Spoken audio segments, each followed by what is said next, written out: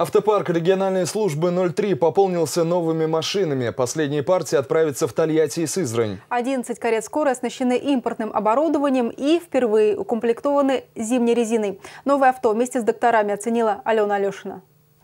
Водитель скорой помощи из Тольятти Виктор Михеев технику оценивает профессиональным взглядом. Двигатель, комплектация, проходимость. За смену его бригады наматывает до 300 километров. Важно, чтобы в самый ответственный момент машина не подвела. За рулем скорой 32 года ездил и на «Мерседесах», и на «Фиатах». Теперь пересядет на «Газель». Ну, в чем уступает? Ну, между ремонтами больше ездим, и, конечно, и на иномарках. Наша быстрее ломается. Нередко выходит из строя уже по пути в больницу. Специально для таких случаев в Тольятти есть резервный автопарк. Благодаря оперативным э, действиям э, персонала гаража машины заменялись. У нас стоит э, в резерве на каждой подстанции по машине для подмены.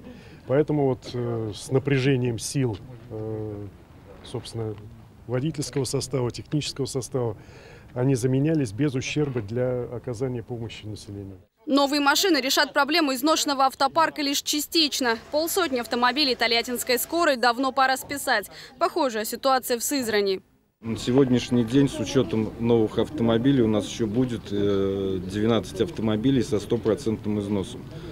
То есть для дальнейшей оперативной и оказания скорой медицинской помощи нам нужно будет еще 12 автомобилей. И зная вот эту вот катастрофическую ситуацию, в первую очередь министр здравоохранения обратил внимание именно на то, что нужно обновить парк, нужно обновить э, и, так скажем, одежду, обувь, обновить оборудование машин.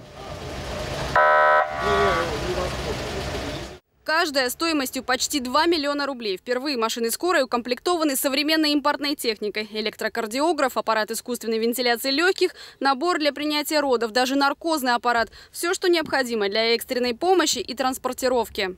Помимо этого, вот видим тут зимняя резина. Это в комплект, это первый раз вообще никогда не покупалось э, для этих автомобилей. Зимней резине они не ездили, не знали, что это такое может быть.